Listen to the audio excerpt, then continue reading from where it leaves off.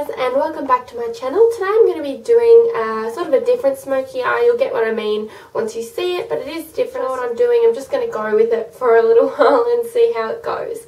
And please ignore my big red nose. I actually have a cold, so please excuse um, throughout the video if um, my nose drips. Yeah. so I hope you enjoy my tutorial. It'll also be about trying to cover up having a cold and getting your skin to look flawless still. But yeah, so even if you're not feeling that fantastic, I can definitely show you how to make yourself look great and perfect for when you want to go out. So Thanks so much for watching and I really hope you guys like it. Bye! First step of course is to prime using my Coastal Scents Beginning Face Primer. For foundation I am using my MAC Studio Fix in NC40 and today to get that added glow I'm going to use my Face of Australia Mineral Therapy Illuminator in Angel Blush. Using my foundation brush, I'm going to apply the Angel Blush over my entire face just to get that added glow and to get that glittery effect. You'll know what I mean when you actually try. It's kind of hard to show on camera. Next, use, next I'll put on my foundation all over for maximum coverage, making sure that I apply it all over my face and if you really want a great added coverage you can apply it all over but I'm just using the same blush just over the top of the face illuminator and you'll get what I mean by having an amazing glow once you do it yourself.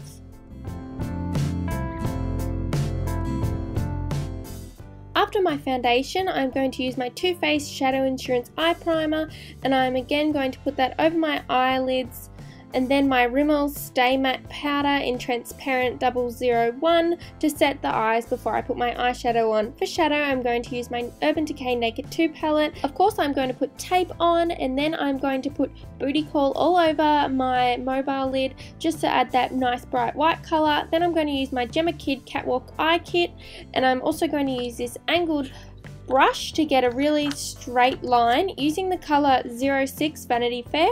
I'm then going to very carefully draw a sharp um, line and build up the color, taking the flick out as well as you can see on both sides. You can still see the white underneath, but the darker color I am taking and building up. I'm going to continue to keep building the colour and then I'm going to go back in with Booty Call over my eyelid and then using this blending brush I'm going to subtly blend the crease line upwards for some added shadow.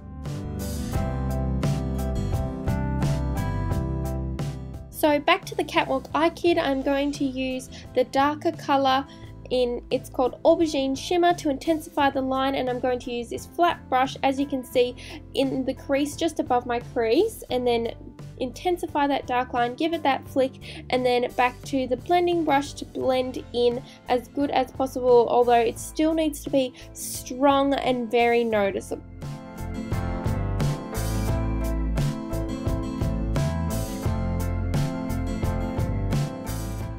Using this angled brush, I'm going to highlight using Booty Call again under the brow bone just to highlight that area and also into the corner of my eye. I'm going to go back and use this flat brush to really intensify my lid and in the corner of my eye because I wasn't happy with how white it was looking and the difference. And now you can definitely tell that there is a strong difference between crease and the lid.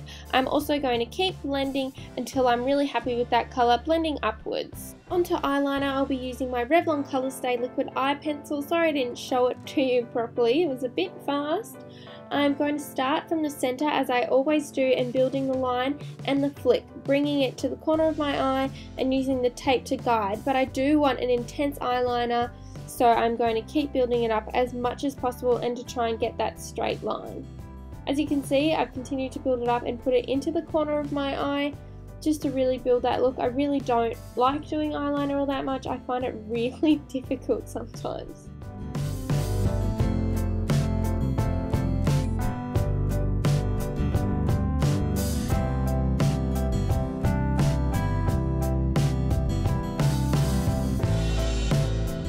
Now to remove the tape and fix up the rest of the eyeliner. As you can see, it's quite a straight, strong look and you just need to fix up and clean up the edges and make sure the line is exactly how you want it to be. Next I'm going to bring the colour underneath using the 06 Vanity Fair under my eye and then I'm going to use my Maybelline Big Eyes black liner on my lash line and in the waterline to make the look even more bold and standing out. And then I'm going to use this angled brush to really get that smoldering effect and blend it in and also building the colour up on the waterline, of course. Next I'm going to use my MAC Lingering for eyebrows to define and shape them and also just build up that shape and make sure that they're exactly how I want them to, to be big, bold and strong for a big night out.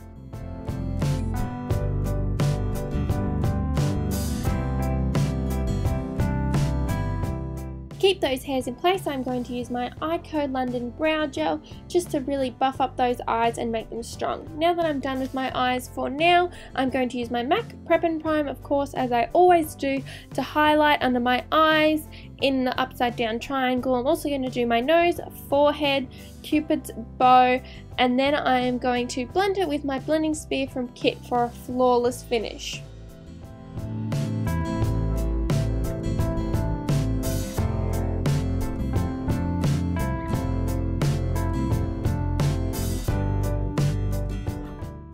For concealer, I'm using my Maybelline Instant Age Rewind in the same spot as my highlighter, of course, under my eyes, nose, forehead, and cupid's bow. And then I'm going to continue blending with the same blending sponge, of course just to make sure that you really get that flawless look and to look quite contoured because at night you do need that strong look.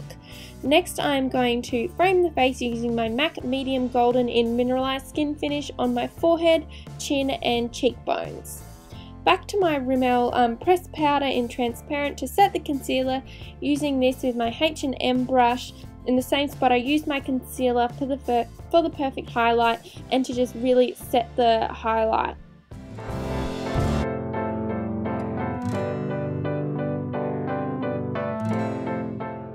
Contour, I'm going to use my Too Faced Chocolate Soleil in medium deep matte bronzer. And of course, I'm going to put this on my forehead, cheeks, and on light to lightly contour my nose and really get that great contoured look perfect for photo. Using this blush from Sephora in Rose Emotion, I'm going to add a bit of colour to my cheeks nothing too over the top. It's a great duo blush and I'm just going to really dust that lightly onto my cheekbones. Next, I'm going to use my MAC Soft and Gentle Mineralized Skin Finish, one of my all-time favorites, and this big powder brush just under my eyes, just to give that nice color, and of course on my nose and forehead for a real great shimmer. And of course for mascara, I'm going to use my Bombshell CoverGirl Mascara for maximum lashes. I'm going to use both steps 1 and 2 to really get that great eye coverage. For lips, uh, of course, I'm going to use my Too Faced Lip Insurance Lip Primer. I cannot live without this. Then Bite Lipstick in Lychee for a light pink brown colour as the eyes are the focal point for this look and I don't want to be too bold. And over the top, once I'm happy with the colour of that look, I'm going to use my Lipstick Queen in Saint Pink. I really do love it. It's more like a lip gloss. It doesn't have a super strong colour and I'm just going to put that over my lips for a great glossy pink effect. A night look isn't complete without my Ardell 110 lashes. I put those on and then I'm going to use my Revlon Colour Stay to cover up any extra things of the eyelashes. Then I'm going to use my NYX Dewy Finish Finishing Spray and spraying that all over the face as you can see. Yay, now I'm done. I really hope you enjoyed this look. It's something different and just make sure you stand out every night. I really hope you enjoyed this look and that you come back for more. Let me know if you'd like to see anything else and I'm really happy with this look so I hope you are too. Thanks so much for watching. Bye guys.